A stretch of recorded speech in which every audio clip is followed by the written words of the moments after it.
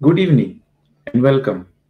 I am Dr. Michel Parikh, the orthopedic oncosurgeon at Sir H.N. Reliance Foundation Hospital. July is the Sarcoma Awareness Month. Hence, this is our humble attempt to spread awareness regarding this dreaded disease amongst patients and healthcare professionals and society at large. Sarcoma. What is a sarcoma? Sarcoma is a type of cancer that affects your bones and connective tissue like muscles, cartilage, blood vessels, nerves, etc. It is different from carcinoma. Sarcoma or carcinoma same नहीं होते Sarcoma is very rare. बहुत कम पाए जाने वाले कैंसरों में से एक है and if you see statistics, sarcomas account for around 1% of all cancers. Hence, it is important to know about it and treat it correctly. Sarcoma क्यों होता है? Why would a sarcoma happen? Well, there is no reason. कोई कारण नहीं है कि एक patient को सार्कोमा हुआ जैसे हम दूसरे कैंसरों के बारे में कहते हैं कि आदतों की वजह से because of bad habits or addictions you are prone to getting certain type of cancers sarcomas does not follow that rule this can be seen in a child as small as 2 months to an adult as old as 80 years so this can happen in anybody but bone sarcomas like osteosarcoma and Ewing sarcoma are more common in children right till up to 18 20 years of age group but soft tissue sarcomas are more common in adult population above the age group of 45-50 years.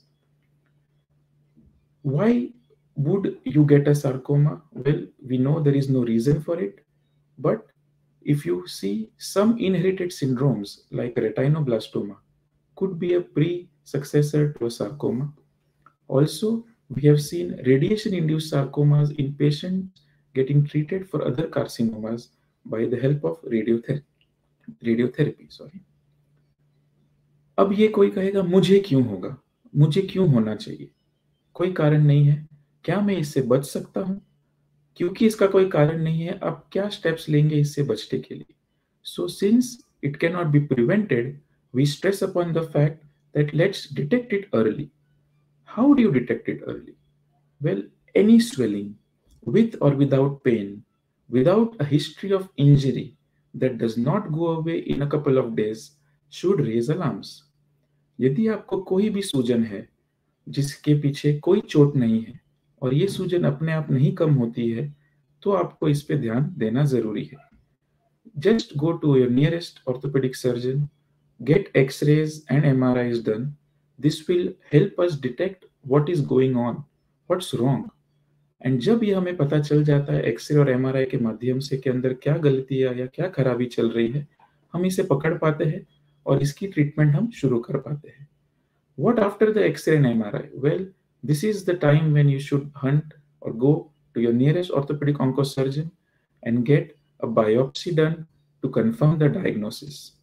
Biopsy क्या होती है well well, biopsy मतलब कि पूरे बीमारी में से एक छोटा सा पेन लेके उसको टेस्ट के लिए भेजना जिसमें पैथोलॉजिस्ट माइक्रोस्कोप के नीचे इसे देख के बताएँगे कि ये क्या बीमारी है so this is the gold standard in diagnosis of a sarcoma a histopathological diagnosis and not just x-ray and mri reports that will tell you what type of tumor or what type of sarcoma you have. So एक x ray हमें 80 से 90 प्रतिशत इशारा दे देता है कि क्या बीमारी चल रही है। एमआरआई हमें यह बताता है कि कितना बड़ा है कहाँ तक फैला है क्या क्या चीज़ें बीमारी ने जकड़ ली है। और बायोप्सी हमें यह बताता है कि बीमारी का नाम क्या है। वन इविंग सार्कोमा और osteosarcoma could look similar on the MRI, but biopsy will differentiate. Whereas X-ray is the simplest and the best thing क्योंकि 80% of the diagnosis हमें इससे पता चल जाती है। आपके एक्सरे हो गए एमआरआई हो गए बायोप्सी भी हो गई अभी आप पूछेंगे बायोप्सी कैसे करना है? कौन करेगा? क्या है ये? सो so, ये बहुत इंपॉर्टेंट है because biopsy in today's time can be done just by needle bone में है तो जे नीडल बायोप्सी और अगर सॉफ्ट टिश्यू में है तो ट्रू कट बायोप्सी बायोप्सी के लिए कोई सर्जरी की ज़रूरत नहीं है। Do not undergo big surgery for just diagnosis इससे आगे की सर्जरी में तकलीफें आ सकती है।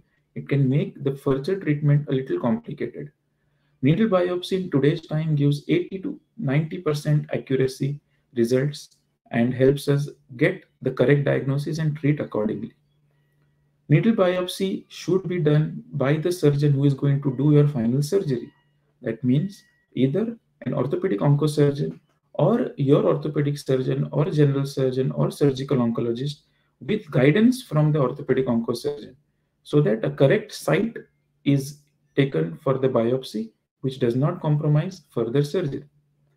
Biopsy हो गई ट्रीटमेंट शुरू करने से पहले हमें यह जानना ज़रूरी है क्या यह बीमारी फैली है या नहीं sarcoma is a malignant tumour it can spread to other parts of the body through blood सबसे कॉमन होता है lungs if it spread to other part of the body treatment option are limited but still we need to know what is the tumour burden in the body तो ये हम कैसे पता करते हैं? हम पेट स्कैन करते हैं। आज की तारीख में पेट स्कैन इजिली अवेलेबल है। पूरे बॉडी का स्कैन हो जाता है और हमें पता चल जाता है कि बीमारी कहाँ और कैसे फैली हुई है। But remember do not do a PET scan without a biopsy because it is very very sensitive but not very specific certain non-cancerous tissues, things or activities also light up on a PET scan and give us wrong indications. Infections, inflammations, etc. gave uptake on a PET scan and could let us think it is metastatic or it has spread.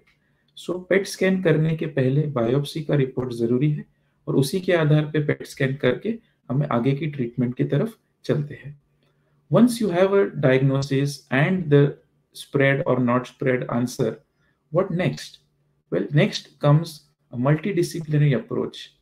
Orthopaedic oncosurgeon सिर्फ़ आपका guide है या फिर इस team का captain है but ये team में बहुत ज़्यादा इंपॉर्टेंट चीज़ें या बहुत ज़्यादा इंपॉर्टेंट लोग जुड़े हुए हैं जिनमें से दो तीन लोग हैं जो है आपके कीमो के डॉक्टर यानी कि पीडियाट्रिक और medical oncologist your radiation oncologist and your surgeon these three are the core और the three pillars of the treatment But you need others in this as well, which include your radiologist, your pathologist, your rehabilitation services, your physiotherapist, occupational therapist, some special surgeons like plastic surgeons, vascular surgeons, thoracic surgeons, etc. क्योंकि tumour की surgery के दौरान दूसरे surgeon की मदद लेना ज़रूरी हो सकता है ताकि आपको अच्छे से अच्छा रिज़ल्ट मिल सके अभी हम सर्जरी की बात करते हैं because most important thing is to get this tumor out of the body by means of surgery.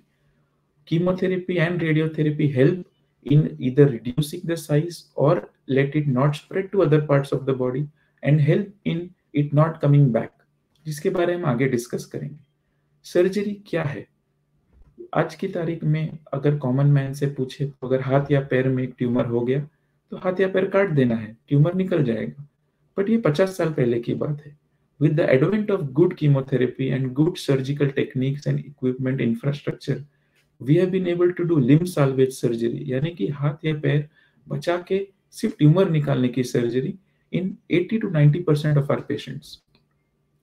Even pathological fractures in today's time do not mean an amputation. You can see the response to chemotherapy, get a new MRI, take a decision judiciously after comparing the scans and the response. आज की तारीख में amputation या हाथ या पैर निकालने की नौबत तभी आती है जब बीमारी कीमोथेरेपी को रिस्पॉन्ड नहीं करती है, या तो फिर बढ़ रही है और ऐसी चीज़ों को जकड़ लिया है जिनको काट दिया तो हाथ या पैर काम नहीं करेगा। That means limb salvage surgery should be done when you have a functionally preserved limb सिर्फ़ देखने के लिए हाथ या पैर बचाने का कोई मतलब नहीं है, वो काम भी करना चाहिए। So now we come to What type of surgeries? Well, limb salvage surgeries include a multiple variety. Soft tissue sarcomas, you just excise the tumor and you can get a primary closure. For bone sarcomas, you have to remove that part of the bone and replace that bone either with implants or biological methods. आप पूरा पूरा घुटना बदल सकते हैं पूरा पूरा हड्डी बदल सकते हैं या तो वहाँ पे मेटल पड़ता है या तो वहीं पे बाजू की हड्डी या कहीं और से मिली हुई हड्डी डाल के उसको प्लेट या स्क्रू फिक्सेशन करके हम वो पैर बचा भी सकते हैं और उसको काम लायक भी रख सकते हैं।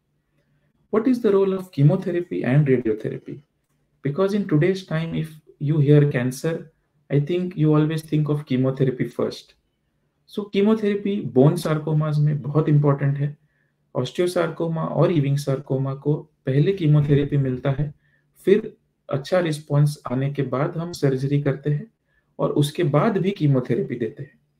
रेडियोथेरेपी इविंग सार्कोमा में हमें काम में आता है ऑस्टियो सार्कोमा में काम में नहीं आता।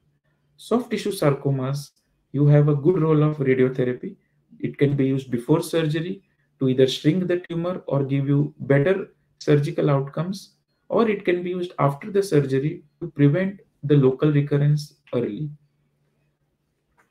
chemotherapy का उपयोग सॉफ्ट टिश्यू सार्कोमाज में ज़्यादा करके नहीं होता। unless it is spread to other parts of the body and you just want to see how it responds. यदि आपका ट्यूमर डायग्नोसिस के समय ही फैला वाला मिलता है, तभी भी हम कीमोथेरेपी एंड रेडियोथेरेपी का इस्तेमाल करके एक गुड क्वालिटी ऑफ़ लाइफ देने के माध्यम या उद्देश्य से आपको ट्रीट कर सकते हैं।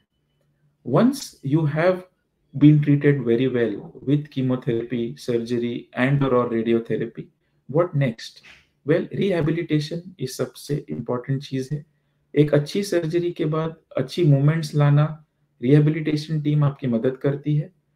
बिकॉज़ सर्जन अपना काम कर चुका है मूवमेंट्स करना, नहीं करना, ये आपके ऊपर है और रिहेबिलिटेशन टीम इसमें आपकी मदद करती है। Surgery is done rehabilitation is done what next what next is follow up a good regular follow up is very important because it is tumor, it is a cancer. It can come back either to the same area or to the lungs or other parts of the body.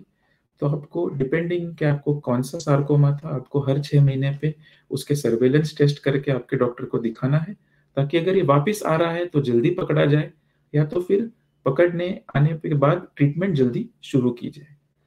सबसे बड़ा problem है खर्चा। People think oh I got a tumour I got cancer now the burden of finances the costly treatments. Well, this is again a myth. In today's time, with good chemotherapy agents being manufactured in our own country, good surgical implants being manufactured in our own country, the treatment cost has reduced drastically. Even the support from trusts, schemes, government, and hospitals is tremendous to make sure the patient does not lose on treatment options just because of the money. So ये नहीं सोचना है कि खर्चे की वजह से treatment नहीं ले पाएँगे या अब क्या होगा कैंसर ही है छोड़ देते हैं आगे भी कुछ फ़ायदा नहीं है ये गलत है बिकॉज़ सार्कोमा का अगर हम सर्वाइवल देखते हैं the survivorship of sarcoma patients is better than many cancer patients if you see osteosarcoma five year survival rate is around about 60%. In Ewing sarcoma, it has now gone up to 65 to 70%. Soft tissue sarcomas when small in size, treated well with surgery and radiotherapy, they do very well in life. You know, they do not come back very soon. So sarcomas का survival अच्छा है treatment महँगा नहीं है diagnosis करना easy है then why to lose out on getting the best possible treatment at the most economical rates and getting a tumor free life so मेरा यही है कहना इस टॉक के माध्यम से कि सार्कोमा को अर्ली डिटेक्ट करना आसान है। हम as a society we are very tolerant we take pain very lightly but when you have unindicated pain it is not related to any injury it does not subside soon please do not take it lightly go and get yourself evaluated these tumour when treated in smaller size and smaller tumour burden they do really well they do not come back they have good survivorship when they are big in size the surgery gets complicated even if you become tumor free you may not lead a very you know happy or a good quality of life because of the type of surgery you had to undergo now the last thing here that i would say as a take home message to the people is that needle biopsy करना ज़रूरी है open biopsy या direct surgery नहीं करनी है महंगी नहीं है ये treatments you can avail this treatments at economical rates after the treatment, do not forget about the follow up. Surveillance is most important. People get treated and forget about it, go home happy, and suddenly after two years, they come to know it has spread to the whole body. This could have been picked up early and treated as well. So, early detection, good cure is the key towards the treatment of these tumors. And sarcomas, compared to other tumors, do relatively better. And I would suggest that do not take it lightly and always avail to the facilities that are available nearby. Thank you.